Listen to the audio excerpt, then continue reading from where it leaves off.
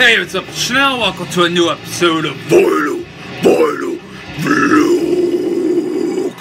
And today we're going to be blasting Finland's Corpsessed Abysmal Thresholds on Me Saco Un Ojo and Dark Descent Records.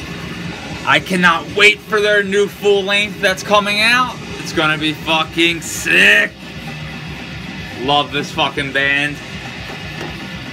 I love Finnish death metal so goddamn good.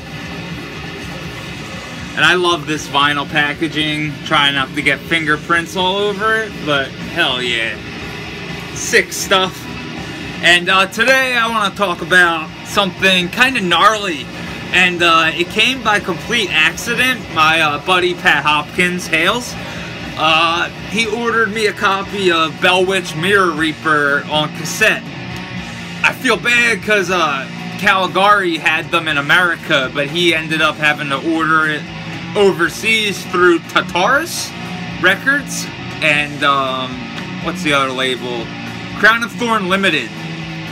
Well, they put out this um, Primitive Man tape, Steel Casket, which they sent instead of two copies of Mirror Reaper, which is fine. But um, this is so fucking heavy. But what is Steel Casket? It's all the noise and shit that was buried underneath all the riffs and everything on Primitive Man's album. So yeah, it's fucking cool in that aspect. I forget what album it is because I forget what artwork this is from. I'm sorry. I know it's not Scorn though because that's like my favorite fucking album. I think this is from uh maybe Caustic I forget whatever their new album it was called. I, I forget. I'm sorry, like, but Primitive Man's badass. Like, I, I love their just regular music and whatnot. But Steel Casket was kind of a little bit of a chore to make it all the way through. And I listened to it twice. And if you're saying, well, why are you reviewing it if you only listened to it twice? Because this is something that, you know, yeah, there's a lot going on and there's a lot to hear, but like, I was very impressed first off with the packaging, which is really, really well done.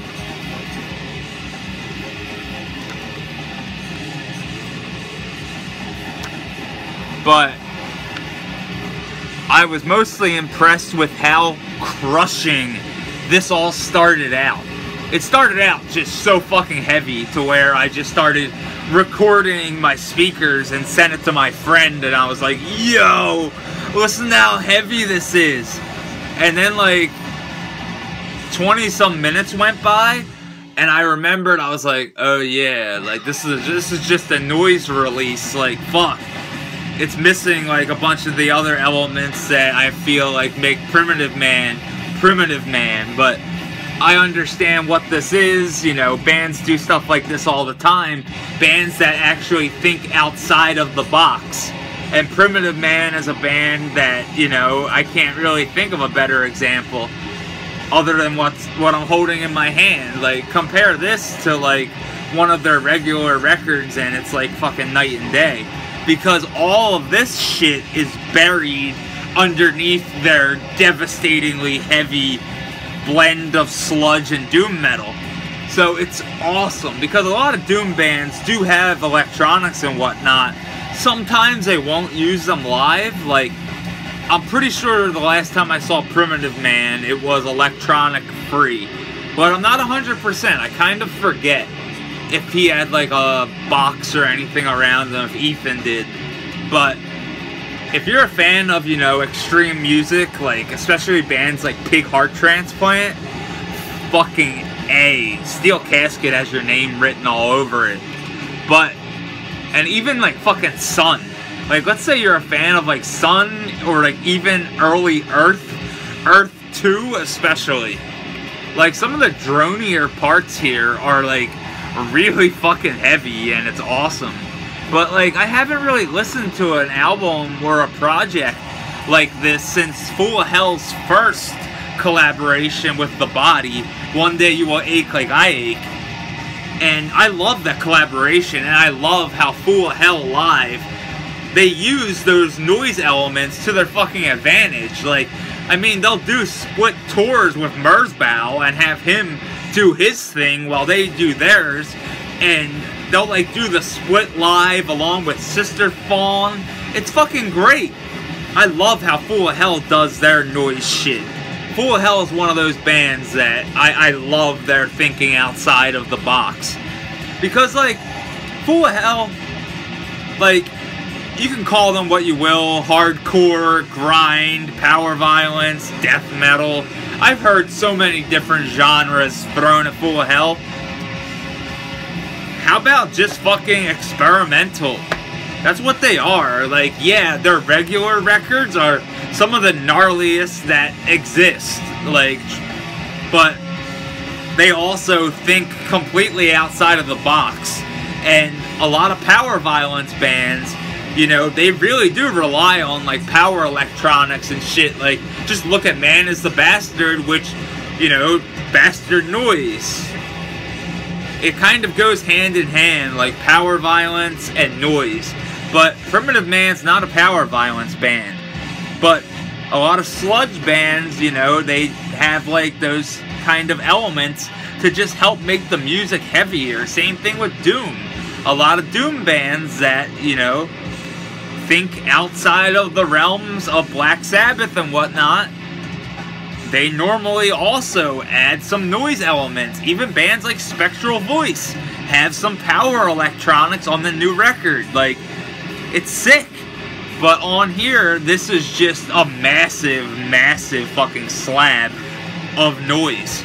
And it's, like I said, very, you know, either cathartic annoying or you're just gonna fucking eat this up if you're a fan of Primitive Man.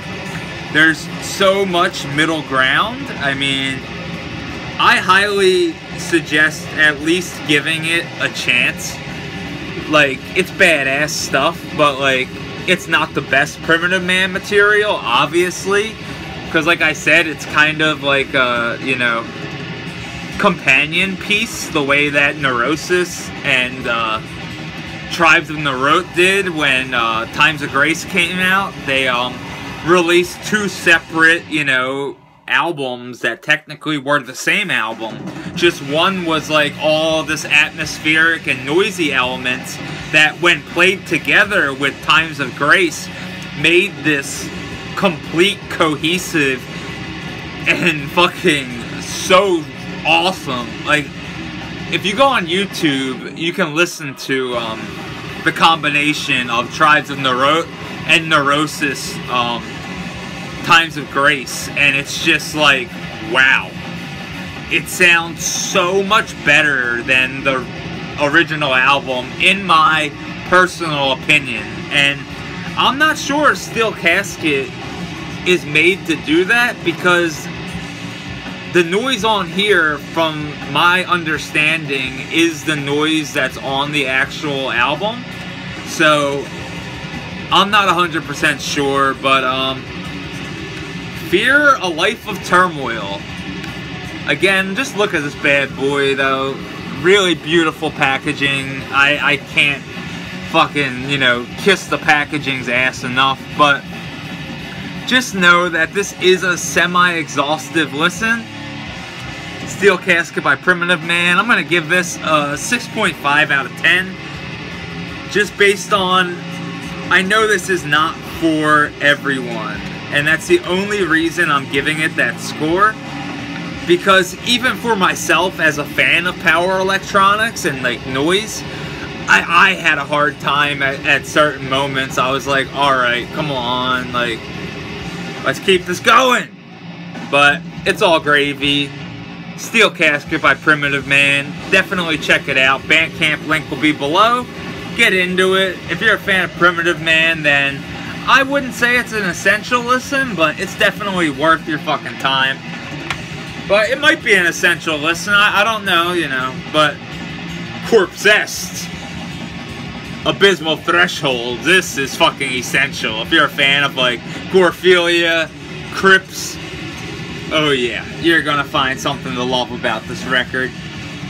Awesome artwork, great mix, just a great album. Especially if you're a fan of, uh, you know, Finnish death metal, Dark Descent, MSUO, fuck yeah. And speaking of Dark Descent, Ritual Necromancy pre-orders go up today, so be on that shit if you are interested. But in the meantime, check out Primitive Man Steel Casket, and if it's your thing, get into it. If not, stick to us, Scorn, because that's my favorite Primitive Man album, but oh well. Anyways, hails to Pat Hopkins. Always thanks for thinking about me and total fucking support when it comes to extreme music and whatnot. Fucking hails. And thank you guys for watching. You fucking rule. Once more, infernal fucking hails.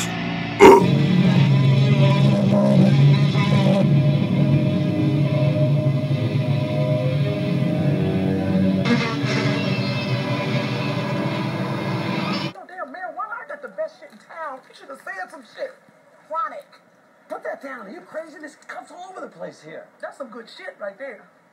Chronic. The swag. The fuck is swag? Swag. You don't even know what the fuck you I don't know what I bought. I bought fucking swag, okay? You don't even know what the fuck swag is. Have you ever bought it before? Huh? Swag? Yeah. This is chronic, okay? It's gonna clear your daddy's eyeball problem and shit. We gonna hook daddy up. Put that on my motherfucking bill. That ain't free. Okay? Okay? A little, little problem. Little problem. I don't quite have enough cash to pay you tonight. But I'm, you know, I'm totally good. I'll pay you tomorrow. I'll come to your house. Tomorrow, Yeah, yeah. this ain't motherfucking pussy on layaway. You better take your little, little, try to trick a bitch ass, European I'm ass trying to the motherfucking ATM machine. What are you talking about? No, I can't because I used, went to the ATM machine this morning. I already took out 500